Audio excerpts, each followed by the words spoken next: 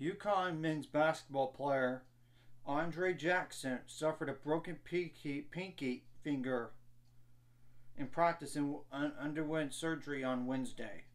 Per release, he will be reevaluated in November. This is significant Big East news. This is per Jon Rothstein.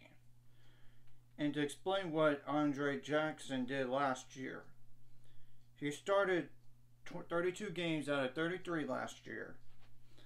22 for 61 on threes. 45 for 63 on free throws. 6.8 rebounds per game.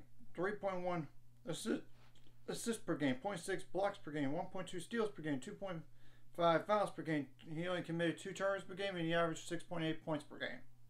He is a 6 foot 6 inch, 210 pound guard. That's a junior this year.